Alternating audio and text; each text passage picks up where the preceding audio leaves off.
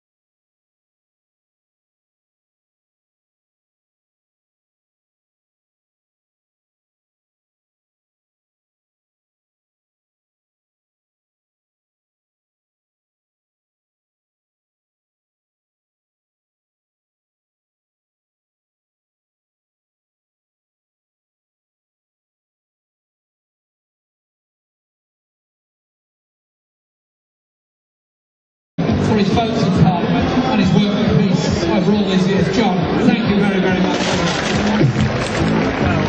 The final speaker for this session, I want to say really big Thank you very much indeed, Jeremy.